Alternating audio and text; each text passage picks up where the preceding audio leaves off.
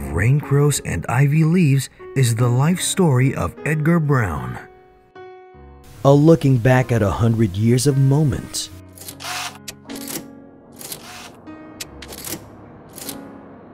Detailing life changing and life affirming experiences.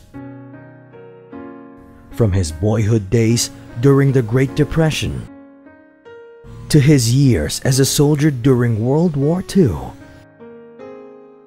to the challenges of becoming a parent during the dissident generation,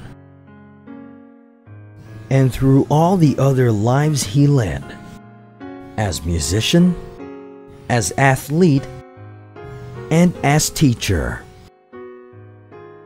But of Raincrows and Ivy Leaves is ultimately the story of how the smallest things can mold a man. And how empathy, compassion, and having the heart to understand human conditions can be learned in the most unassuming of situations. It is a story that is both intimate and monumental, bearing witness to the unfolding of history through the eyes of one of the last men left alive who lived through it all. A journey of change. An unsent love letter to his children. A memoir.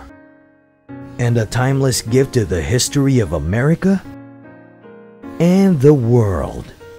Of Raincrows and Ivy Leaves is the life story of Edgar Brown.